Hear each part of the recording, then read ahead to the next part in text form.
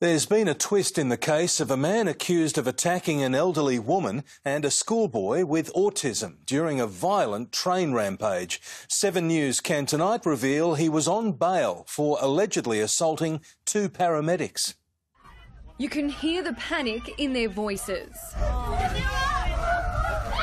The terrified passengers rushed off the train, desperate to get away from a manic and unpredictable man on board.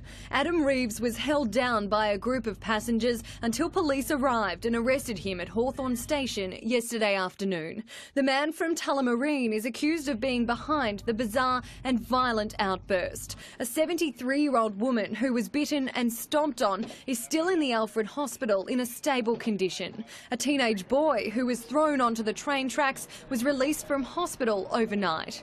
The court heard Reeves suffers from schizophrenia and requires prescribed medication while in custody. He faces a number of charges, including intentionally causing serious injury, reckless conduct, endangering life, and committing an offence while on bail.